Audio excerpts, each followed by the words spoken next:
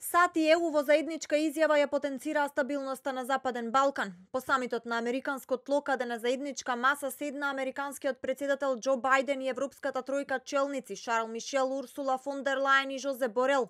Трансатланската оска Вашингтон Брисел објави заедничка декларација со цел обединет фронт за конфликтите во Газа и Украина. Во точка 8 од заедничкиот став на САД и ЕУ се потенцира и европската перспектива на регионот и нормализација на односите Белград-Приштина ја потврдуваме нашата заедничка посветеност на стабилноста на Западен Балкан и нашата поддршка за ЕУ перспективата на регионот. Сите партнери треба да продолжат да ги прават реформите потребни за напредок на нивниот европски пат.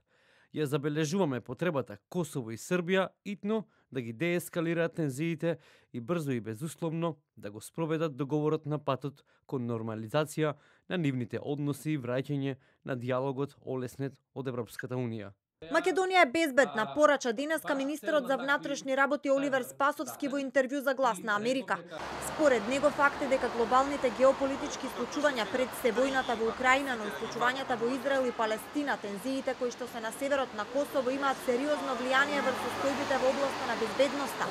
Но вели дека државата ги презема сите мерки. Не само Министерството за внатрешни работи, туку генерално и сите безбедносни служби и агенции во рамките на Република Северна Македонија преземаат се на дневна основа за да можеме да ја одржиме состојбата а, безбедна и стабилна и секако а, согласно на се она што може да има импликации да превенираме било какво нарушување на, на безбедност. Вчера и Министерката за одбрана Петровска порача дека постои координација на безбедносните и разузнавачките служби, а информациите што се разменуваат покажале дека закана нема.